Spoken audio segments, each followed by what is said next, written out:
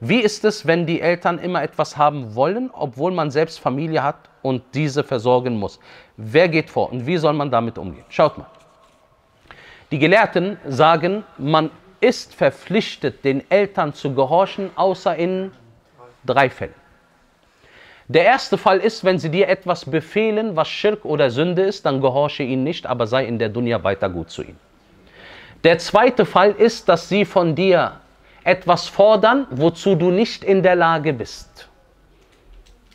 Zum Beispiel, du bist nicht in der Lage, denen ein Auto zu kaufen. Sie sagen dir, kauf mir ein Auto, du bist nicht verpflichtet, weil du gar nicht in der Lage dazu bist. La yukallifullahu nafsan illa wusaha. Allah legt keiner Seele etwas auf, was er nicht zu leisten vermag. Und du brauchst ihn auch nicht zu gehorchen in Dingen, die für sie keinen Einfluss haben im Leben, wo es nicht um Güte geht. Zum Beispiel, sie sagen dir, kauf dieses Auto. Oder studiere diesen Beruf. Da bist du nicht verpflichtet. Aber dennoch sage ich, in den letzten beiden Fällen, natürlich nicht im ersten Fall, da ist absolut verboten, soll man trotzdem versuchen, eine Einigung mit ihnen zu finden, weil es sind immerhin die Eltern. Und man soll versuchen, mit ihnen gut auszukommen, ta'ala.